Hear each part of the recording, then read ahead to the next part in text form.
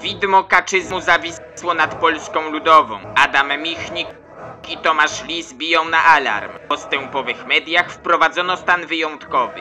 Gazeta Wyborcza niosła w sondażach progi wyborcze. Odpowiedzialni obywatele i towarzysze zaproponowali powołanie wielkiej koalicji, zwanej roboczo koalicją strachu.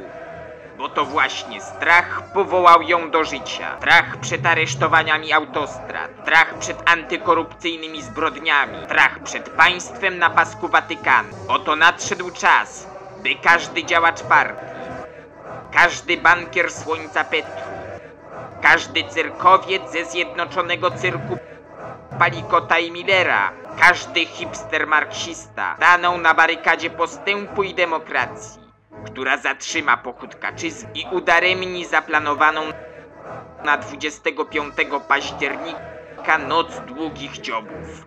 Nie będzie Budapesztu w Warszawie. Dopilnuje tego towarzysz Wiesław, który już zarządził mobilizację w komisjach wyborczych. Zwrócił się też w szczerych, prostych słowach do ludu pracującego miast i WSI.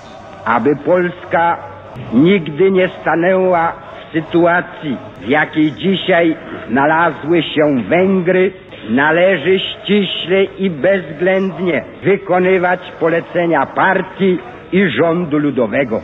By żyło się lepiej. By żyło się lepiej wszystkim.